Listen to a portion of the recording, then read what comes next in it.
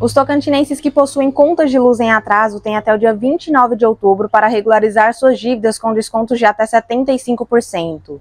A oportunidade é oferecida pela Energisa através do programa Desenrola Brasil do governo federal e começou a ser oferecida no dia 9 de outubro.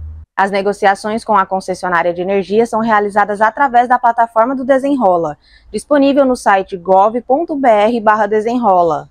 Vale lembrar que, de acordo com as regras definidas pelo governo federal, apenas os clientes com dívidas leiloadas em procedimento realizado pela Bolsa de Valores de São Paulo, a B3, poderão fazer o parcelamento em até 60 vezes junto às instituições cadastradas.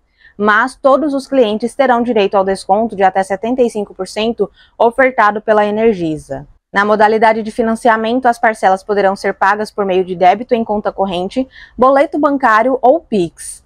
Caso o cliente escolha pagar à vista, o pagamento será feito via plataforma e o valor será repassado diretamente ao credor. O cliente que desejar aderir ao Desenrola precisa se cadastrar no portal do governo e ter as certificações ouro ou prata. A coordenadora da Energisa, Narjara Bolentini, disse que mesmo que o cliente não se encaixe nos critérios específicos do programa Desenrola Brasil, a Energisa oferece opções especiais de renegociação para ajudá-lo a regularizar suas contas de luz.